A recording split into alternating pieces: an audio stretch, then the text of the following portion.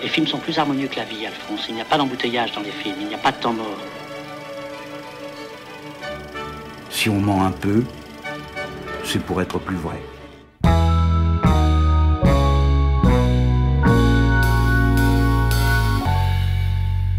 C'est un autoportrait, mais euh, je dirais euh, cubiste, c'est-à-dire que c'est plein, c'est morcelé, c'est pas un autoportrait réaliste, c'est un autoportrait par les autres, par l'ailleurs, par l'hétérogène. Et puis, à l'intérieur des scènes, pouvoir à la fois être un regard, avoir un regard même pas au carré, mais un regard au cube, parce que je suis à la fois moi Nicolas, moi Jérémy et moi le cinéaste, et donc je peux dynamiter de l'intérieur euh, la scène.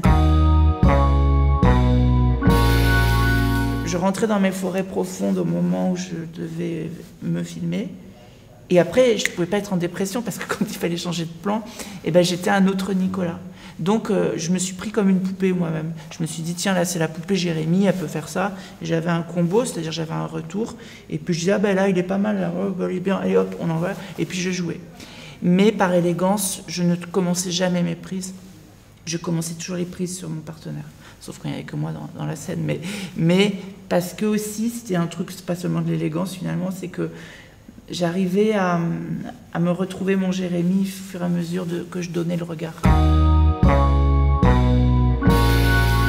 Il y a comme ça quelque chose de cette terre de sorcellerie blanche aussi, euh, qui est dans mes veines, moi, dans lequel j'ai grandi et qui m'est très cher.